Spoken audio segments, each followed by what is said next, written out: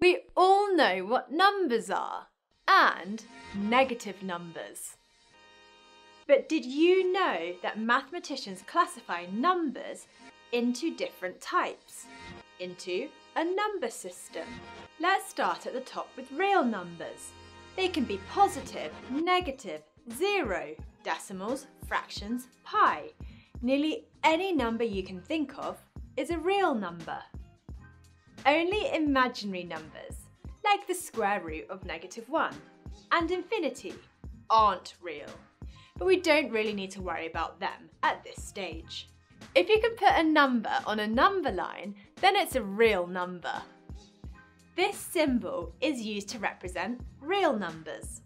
Real numbers split into two subsets, rational and irrational. Rational numbers can be written as a fraction. I just remember rational fractional sound similar. So, any whole number, terminating decimals, recurring decimals. In fact, all numbers except for non-repeating decimals are rational. Decimals that do not repeat are irrational. Some well-known examples are pi, e, and square root 2. So many square roots and cube roots are irrational. If the decimal places go on forever without repeating, then they are irrational. Now back to rational numbers. These can be separated down further, natural numbers and integers.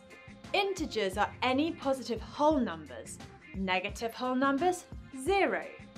Whereas natural numbers are just from zero and the positive counting numbers. Strangely, there is no general agreement amongst mathematicians about whether to include zero in the natural numbers or not. Sometimes zero is included, sometimes it isn't.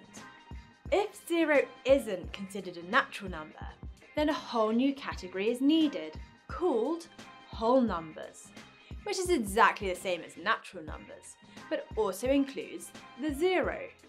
Find a way of remembering the order. I always remember, now, what is real?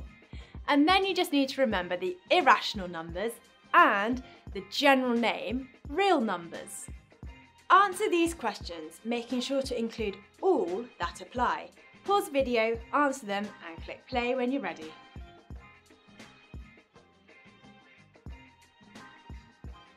For now, we just need to know that this real number system exists and where different numbers fit into it. If you stick with mathematics in future life, you may study it in more detail. As I said earlier, I always just remember now what is real, to remember the order of natural numbers, whole numbers, integers and rational numbers.